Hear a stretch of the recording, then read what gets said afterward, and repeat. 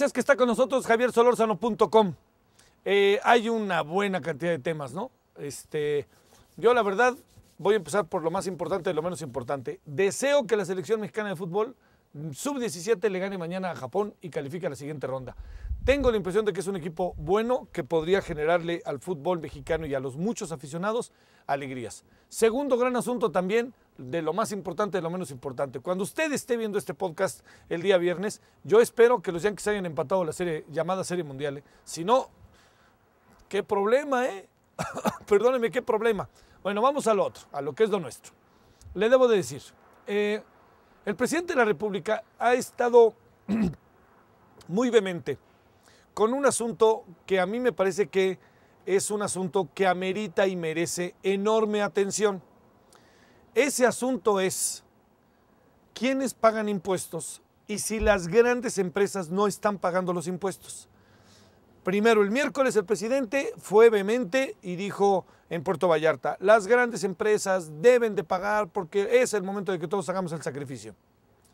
Ayer, en la inauguración de la reunión de la industria química de México, en México, el presidente dijo, está bien que ayuden, está bien que den equipo médico, está bien que tengan fundaciones, está bien que organicen grandes eventos deportivos, pero tienen que pagar sus impuestos.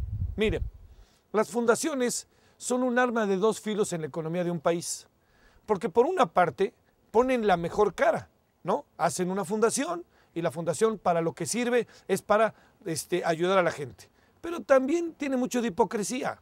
Son fundaciones que sabemos muy bien que hay muchas, que lo que tratan es de darle una buena cara a la empresa y también de por ahí colar mucha parte de los dineros y de los impuestos. Eso no lo pierda de vista.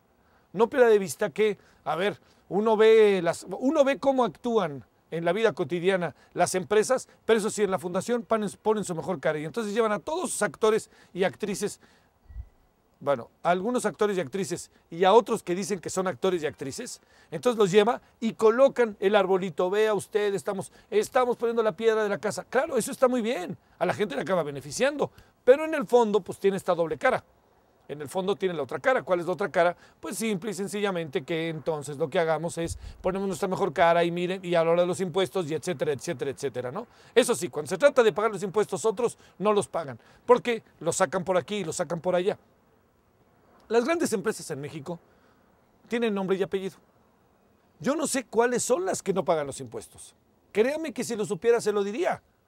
El presidente ha pintado el perfil. La gran pregunta es, señor presidente Calderón, la pregunta es, usted ya ha dicho que las grandes empresas, ¿por qué cuando un ciudadano no paga sus impuestos o los evade, se viene todo el peso de la ley encima de ellos? Y más si son del espectáculo, ¿no? Entre comillas si es una cantante, si es Paquita la del barrio, vámonos con todo. Y entonces uno dice, bueno, ¿por qué se van con todo contra ellos o ellas si en el fondo hay mucha gente igual? No, es que son medidas ejemplares. Medidas ejemplares para que digan, miren lo que estamos haciendo. Entonces yo propongo, y no creo que sea una mala propuesta, que nos digan nombre y apellido de quiénes son las grandes empresas que no están pagando los impuestos. No anden dando perfiles, quiénes son. Así como agarran un ciudadano, lo agarran materialmente de los cabellos y lo meten a la cárcel y tú no has pagado impuestos y los colocan contra las cuerdas, que no está bien ¿eh? que no se paguen los impuestos, no estoy justificando eso. Pero uno dice, ¿cuáles son las grandes empresas? ¿Usted no cree que el gobierno mexicano sabe cuáles son las grandes empresas? ¿Cuál es su nombre y apellido? Ahí le va. ¿Quiénes son las grandes empresas? Es hasta el título de nuestro podcast. ¿Quiénes son? Bueno, pues el gran quiénes son, yo se lo quiero plantear.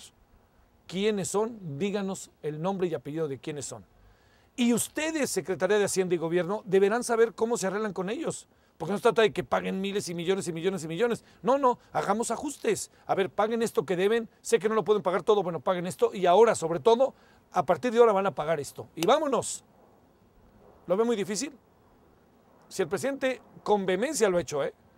Pocas veces he visto, he visto a servidor con tanta vehemencia y me atrevo a decir algo que a lo mejor va a caer mal a algunos, pero con tanta convicción, ¿eh? El presidente, pam, pam, pam, anda señalando. Bueno, pues ahora sí que del plato a la boca se cae la sopa, o de los dichos a los hechos hay un buen trecho, o es el tiempo de actuar. Es el tiempo de actuar. Yo creo que nadie se va a enojar. Y si brincan, pues carajo, están brincando los que están violando la ley. Pues entonces apliquemos la ley y ya. Entonces yo cada vez que me viole la ley me voy a enojar y voy a poner cara y voy a decir sí. Entonces no, se vaya a enojar. No, no, perdóneme, no es de contentillo, es de es, es. Así de fácil. Bueno, ¿quiénes son? Queremos su nombre y apellido. Gracias, javiersolorzano.com, de aquel lado Mau, de aquel lado Hub, y aquí estamos como todos los días aquí en nuestra página. Tenemos hoy el vitral, tenemos, ya sabe, este, toda la opinión, este, el Twitter. Fíjese, ayer, jueves, el Twitter, lancé esta misma pregunta y en menos de 10 minutos ya tenía su servidor una gran cantidad de opiniones y respuestas que incluso dimos a conocer en Radio 13. Bueno, pásela bien. Adiós.